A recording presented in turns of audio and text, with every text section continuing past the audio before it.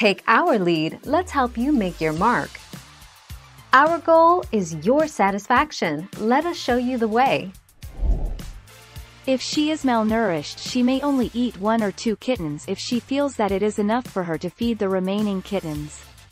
This can be prevented from happening by making sure that your mama cat is well fed and has a proper diet to be able to feed her young well.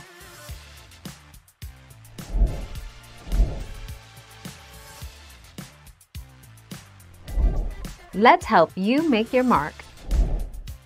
A cat may reject, sometimes kill, a kitten if it's unresponsive.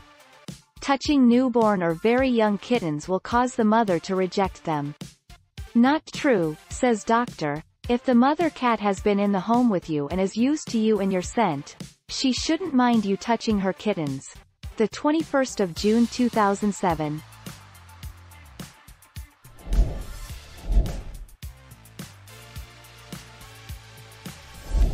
Let's help you make your mark.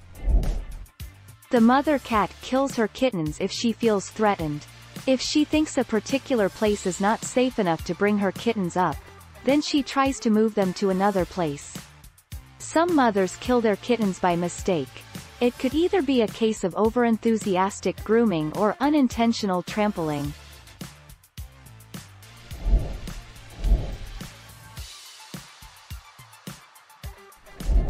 Make your mark, take our lead.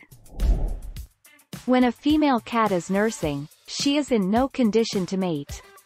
In reaction to this, a male cat may kill kittens that are not from his bloodline, to bring the female into heat, so that he can breed with her to produce his own kittens.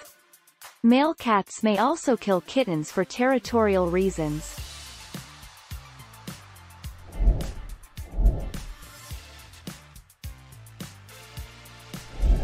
Make your mark, take our lead. While most male cats reach puberty between the ages of 7 and 9 months, some are able to start fathering kittens at 6 months of age. Once he hits adolescence, that sweet little kitten demeanor changes considerably. Non-neutered male cats become very territorial and aggressive.